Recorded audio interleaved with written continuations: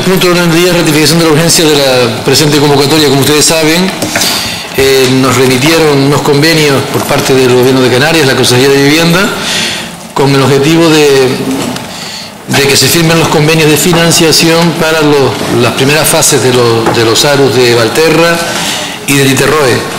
Eh, como quiera que están a final de presupuesto, pues era necesario que se firmaran esos convenios y como ustedes saben, estos convenios que tienen eh, asignación económica y además plurianual, pues es necesario que estén previamente acordados en pleno. No son competencia del alcalde firmarlo directamente, sino que es necesario tener el referendo del, pleno. ¿no?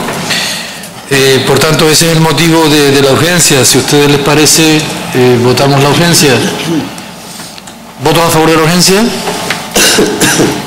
Bien, señor secretario, por unanimidad, ¿no?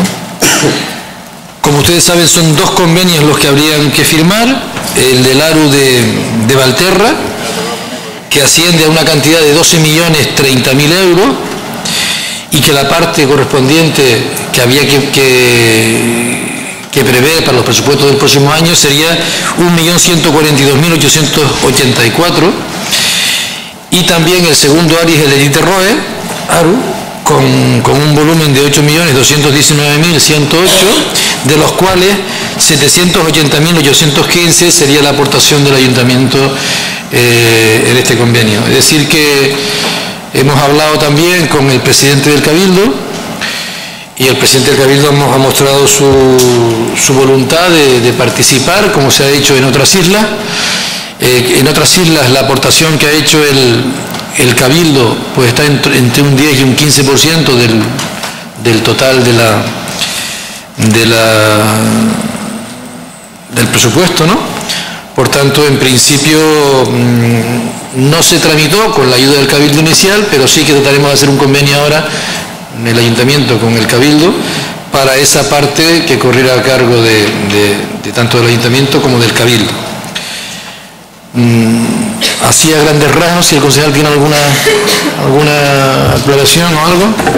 No, simplemente lo que manifestamos el pasado lunes o martes en la comisión de seguimiento que, mantuvimos y sencillamente remitirnos a aquellos acuerdos que llegamos en esa comisión de seguimiento, más o menos lo que ha comentado el alcalde, a lo que nos compromete de cara a los próximos cuatro años y el convenio como ustedes lo tienen ya en posesión, pues lo podrán ver, lo podrán observar con más detenimiento y si existiera alguna duda, pues ya saben que me tienen a su entera disposición. Gracias. En primer lugar, yo creo que alegrarnos de que esto ya se haya hecho. Sí queremos felicitar a, la Concejalía de, Vivienda, en especial a don Joel, por la manera que ha llevado todo este trabajo, porque desde un principio ha manifestado la voluntad de, de, que todos los grupos políticos estemos informados, estemos al día de cualquier movimiento que se ha hecho. Entonces no ha parecido una manera de actuar de participación y de una manera de no utilizar políticamente ningún tema tan sensible como es este, hemos llegado a ese acuerdo de que esto es una cosa prioritaria, que aquí no hay colores políticos ni hay mm, más allá de lo que se está, se está tratando. Eh, Evidentemente, por la urgencia de este pleno ha sido imposible por parte, por lo menos, de estos concejales estudiarnos lo que es el, o leernos en profundidad lo que es este convenio, pero viendo la buena trayectoria que ha llevado la concejalía y en especial don Joel en este tema y todo el equipo que está tras él, pues vamos, estamos satisfechos de llegar a este momento, de que esto empiece a rodar. Sabemos que va a ser muy, muy difícil el otro día en la mesa le comentaba que yo creo que igual nuestros nietos puedan disfrutar de esto porque sabemos que va a ser una tarea, no me refiero ya solo en la económica, sino lo que es el tema social, el tema de los movimientos de familia, todo lo que esto va a llevar. Va a ser muy difícil, pero bueno, es una cosa que creo que todos estamos en la misma línea, que me gustaría que también eh, el resto del grupo de gobierno utilizara esta esta estrategia que ha utilizado don Joel para llevar todos el mismo camino y es fácil de que nos pongamos de acuerdo cuando vemos transparencia, cuando vemos limpieza y cuando vemos voluntad de trabajar por Arrecife. Nada más, muchas gracias. Me gustaría hacer un poco de historia en, el tema de las viviendas y retrotraernos un poco al principio. Eh, evidentemente, eh, eh, dar las gracias a don Joel. Eh, creo que, no solo don Joel, que ha sido eh, parte fundamental, sino también al gobierno de Canarias, que finalmente ha sido quien ha llegado a esta comisión bilateral y ha puesto el dinero. Pero como decía, me gustaría hacer un poco de historia y agradecer a una persona que ahora no está entre nosotros, que estuvo en la legislatura pasada, que fue la concejal del PIL, Isabel Mesa, la que inició, hizo la primera memoria programa, ¿no? Eh, hubo un accidente, todos sabemos que a raíz de ese accidente y de un informe técnico que hablaba de, las viviendas de Valterra, de ese informe técnico que decía que estaban bastante mal, eh, esta señora Isabel Mesa y otras no se había hecho antes, era un problema de arrecife, un problema que tiene arrecife de sus casas envejecidas, que nadie había em, cogido el toro por los cuernos. Isabel lo hizo, Isabel empezó a trabajar. Eh, hizo una memoria programa eh, con todo el esfuerzo, una memoria programa que solo le costó eh, apenas 2.000 euros al ayuntamiento, eh, que sirvió de camino para lo que ha hecho don Joel después, es decir, la, la fórmula de que los técnicos no cobran totalmente por su trabajo, que estaríamos hablando de 90.000 euros una memoria programa, sino lo hacen más o menos por un coste básico porque luego van a ser los adjudicatarios del, proyecto, que es lo que ha pasado ahora, ¿no? Me imagino. por eso quería hacer mención a Isabel, eh, creo que lo hizo muy bien y que fue el camino, abrió el camino para que luego, eh, y tengo que decirlo, eh, yo el delegado con mucha celeridad, con muy buena constancia y prestancia, ha hecho un trabajo excelente y, estos son los frutos.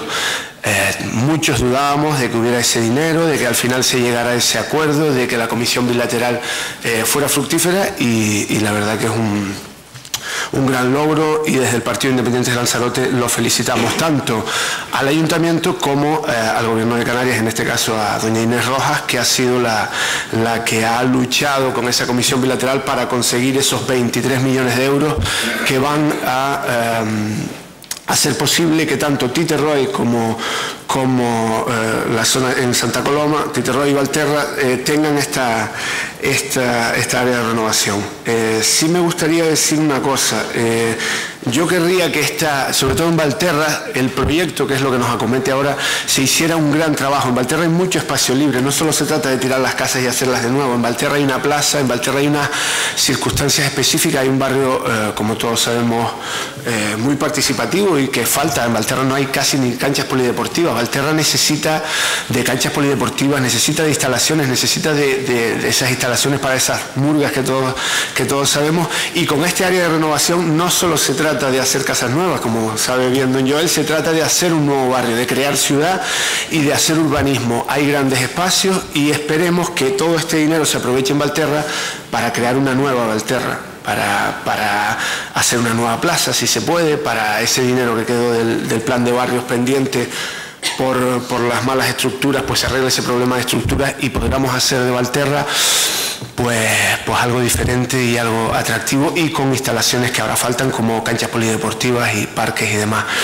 Eh, sin más felicitarlos, evidentemente nuestro voto va a ser a favor de, esto. Eh, esperemos, esperemos que ese millón ciento mil más esos 780 mil euros que hay que poner el año pasado, el año que viene estén por Dios se lo pido que estén, porque, porque desgraciadamente va a haber muchos gastos el año que viene, va a ser un año muy duro, pero que el ayuntamiento pueda hacer frente a ese dinero, que el cabildo se comprometa con este ayuntamiento a también poner una parte y, luego que los propietarios en su medida puedan aportar la parte que les toca.